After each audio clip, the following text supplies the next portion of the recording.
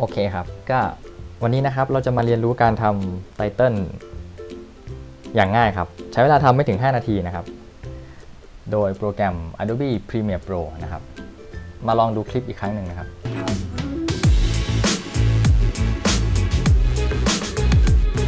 อโอเค ประมาณนี้นะครับ ก็กลับเข้าสู่หน้าโปรแกรมนะครับ อันเนี้ยอันนี้ผมสร้างเป็นโปรเจกต์เปล่าไว้แล้วนะครับ ก็ก่อนอื่นนะครับเรามาที่ โหมดกราฟิกนะครับ คลิกตรงนี้นะครับ โอเค ก็จะได้หน้าตาประมาณนี้นะครับ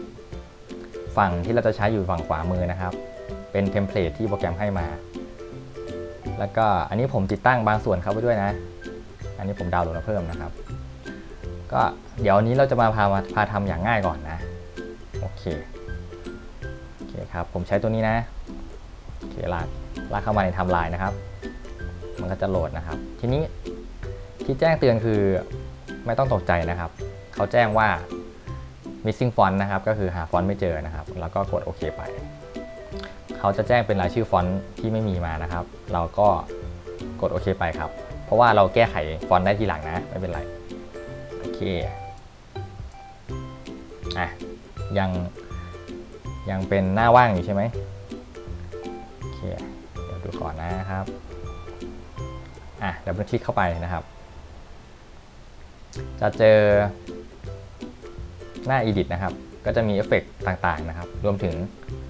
ฟอนต์นะครับ ฟอนต์ที่เป็น title ของเราที่เราจะทำนะ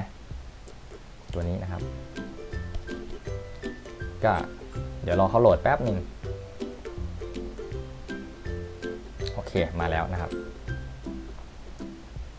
อืมก็ทำการแก้ไขฟอนต์นะครับ เป็น ข้อความที่เราต้องการ ตัวอย่างนี้ผมจะเอาเป็นชื่อช anel ผมแล้วกันนะครับ M Studio ครับผมเรียบร้อย จากนั้นเรามาดูการตั้งค่านะครับ การตั้งค่านะ ตัวนี้เป็นฟอนต์นะครับ คลิกเข้าไปนะครับ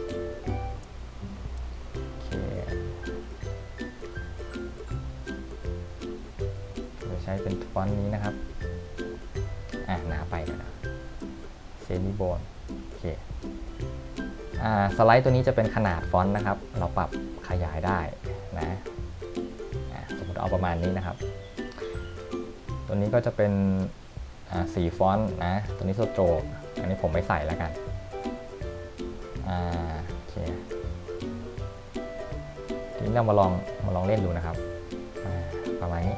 ฟึบ อะมันยังดูโล่งๆอยู่ถูกไหม ก็เดี๋ยวผมใส่พื้นหลังเข้าไปนะครับ เดี๋ยวเราย้ายตำแหน่งนะครับ ขึ้นไปอีกเลเยอร์หนึ่งนะผมมีพื้นหลังเตรียมไว้แล้วเป็นตัวนี้นะครับผมดึงมาไว้ด้านล่างนะพรีวิวพรีวิวให้ดูนะครับ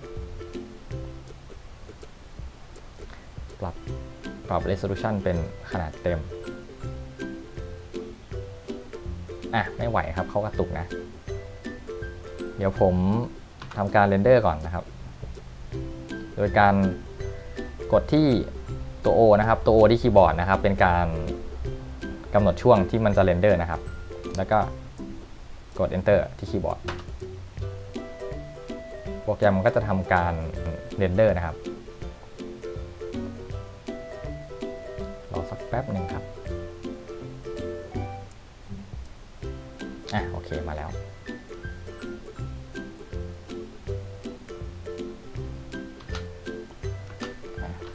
พรีวิวนะครับ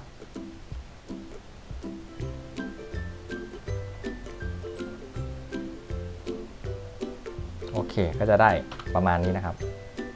เสร็จแล้วนะครับไตเติลของเรา วิธีการเอาไปใช้งานต่อนะครับ ก็คือ ไปที่ไฟล์ Export นะครับ เลือก Media หรือว่ากด Ctrl M ที่คีย์บอร์ดก็ได้นะครับเข้าไปก็จะเจอหน้าตาแบบนี้นะครับ ก็แนะนำนะครับเลือกเป็น Format เป็น H264 นะครับ ไฟล์ที่ได้ก็จะเป็นนามสกุล MP4 นะครับ ก็คือขนาดขนาดจะเล็กและก็ความคมชัดใช้ได้เลยทีเดียวนะครับ ผมก็ส่วนใหญ่ก็ใช้ฟอร์แมตนี้แหละนะครับ สังเกตจากตัวนี้นะครับ .mp4 นะครับ ก็กดเข้าไปเลือกตำแหน่งที่จะบันทึกนะครับ โอเค ตัวนี้ก็คือโปรแกรมจะตั้งค่าตามตามโปรเจกต์ที่เราตั้งไว้นะครับ ก็คือตัวนี้ผมเป็น Full HD นะครับ ก็ตามนี้นะครับ ผมไม่แก้นะครับแล้วลงมาถัดมาเป็น bitrate นะครับ ก็คือ 10 เมก อันนี้เป็นค่าเริ่มต้นเลยนะครับ ก็ตามนี้ อะ เสร็จแล้วก็กด Export นะครับ ก็จะได้ไฟล์วิดีโอออกมาเป็นไตเติลนะครับ โอเค เดี๋ยวไว้เจอกันคลิปหน้าครับสำหรับวันนี้ สวัสดีครับ